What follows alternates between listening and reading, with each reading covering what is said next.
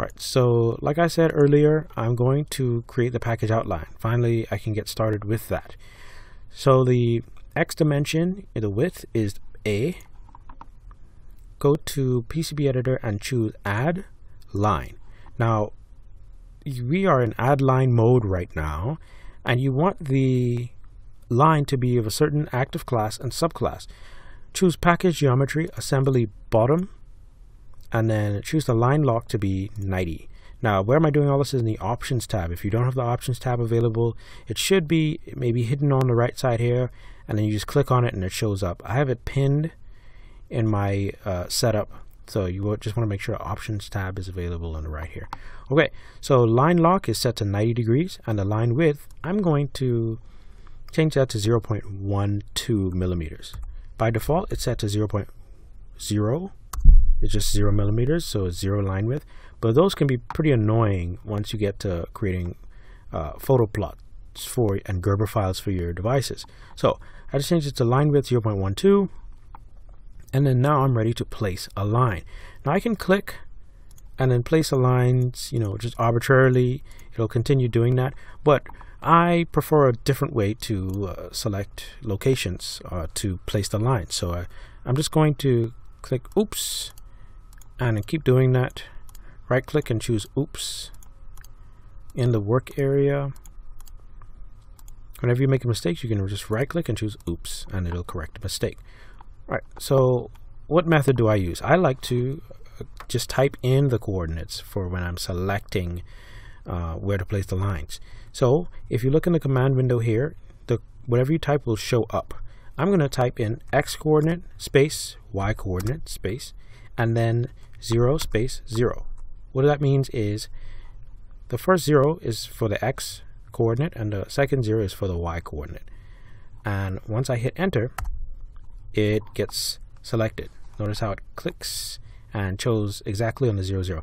This is very useful when you want to make extremely precise selections. Alright, so you can also do just the x coordinate or just the y coordinate. So I'm going to go with x space and remember, in the datasheet, the width is 5.01. So I'm going to do that. I'm going to select 5.01 in the x coordinate. So hit enter and we've selected 5.01.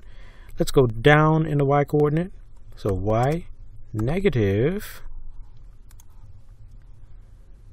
Let's see here. B is 6.65 in height. So we have to go negative 6.65 uh, negative 6.56. All right. Enter. Okay, I'm going to zoom out and then I'm going to choose the x coordinate. It's back at zero again. So let's go to zero, uh, x, uh, zero. And then lastly, y, zero. All right, that's the last uh, position chosen. So right click the work area and choose done. Your shape is made and now you're ready to copy the shape. Why would we copy it? Well, I'm actually going to copy it to put it on the package to create a package geometry assembly top layer uh, for outline. So how do you copy? Go to edit and then choose copy.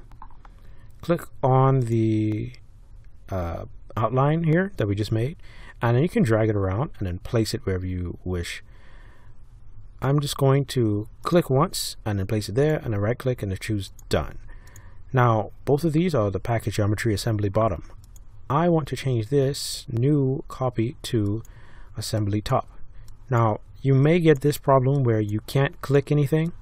That's fine. Just go to the general edit option and click general edit and then it allows you to choose that there are other ways to get out of that issue as well, but this is the easiest way. So click and highlight the entire uh, line setup here, and then just right click, change to layer, assembly top.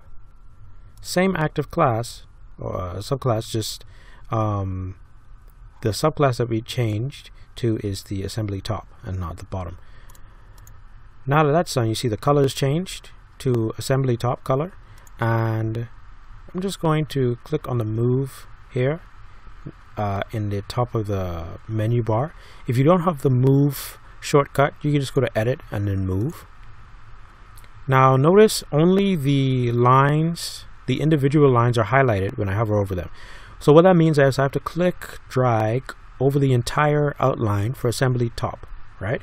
And then, then once it's highlighted, left click once.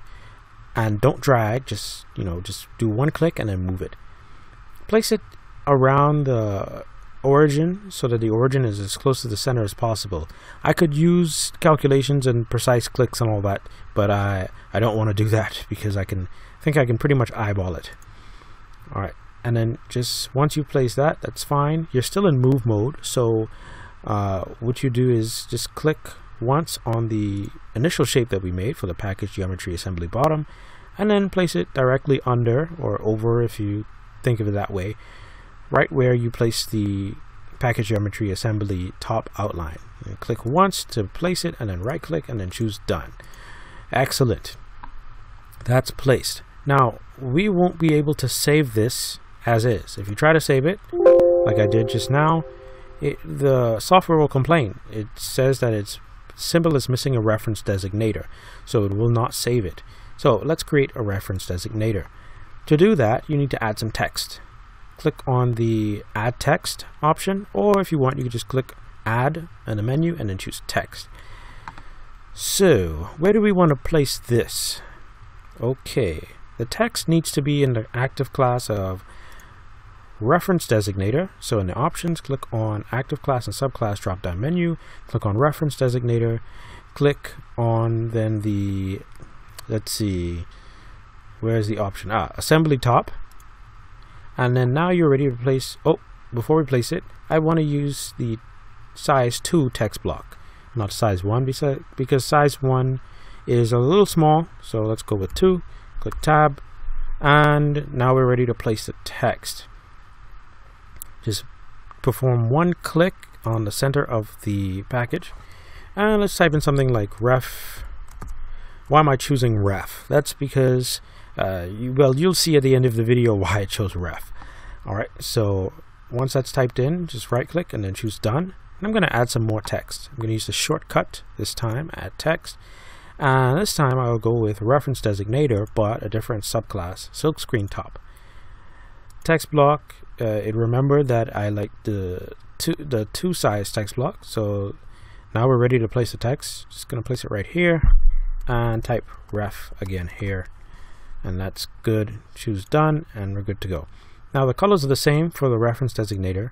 I don't like that. I like my silkscreen to be a different color. Uh, I would choose white. So how do I do that? Okay in order to do that let's see now I can almost never remember where to put the uh, choose the color option here so I'm just gonna see where I can find it okay Alright. Let's see. Okay, that took me a while to find the color option. Alright, so it's actually just right in display. Color, color and visibility. Alright, so just click display, color, visibility. And I'm going to make the silk screen uh, for all of the layers that I'm interested to be white. Alright, so let's go click on uh, geometry, package geometry. And the silk screen top, I'm going to make white. In order to do that, scroll down, and where we see silk screen top here, it's set to green. I'm going to choose the white in the color palette, and then click here in the silk screen top box to make it white.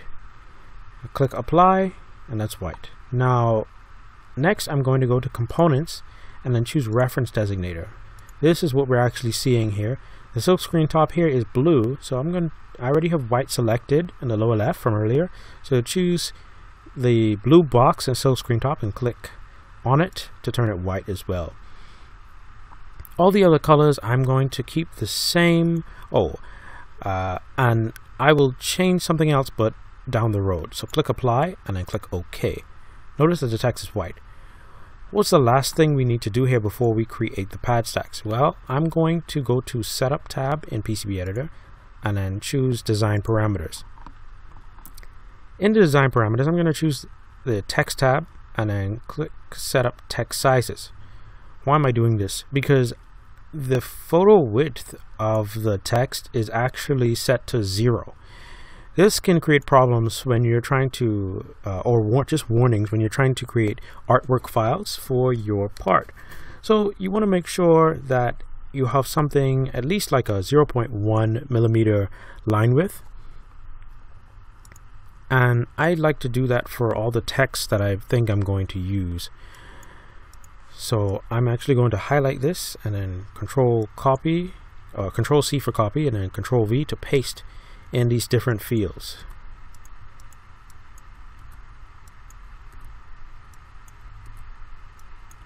Okay, so that's enough of that. I'll click OK button and then click the apply button and then click OK. Notice that the text has gotten wider in width and when we try to save now it will talk about it will set up a warning that says uh, the file exists and do you want to overwrite it? And click yes. And now it's saved. And notice in the lower left that the PSM file of this uh, footprint package or the symbol was created. That's when you know that it's saved correctly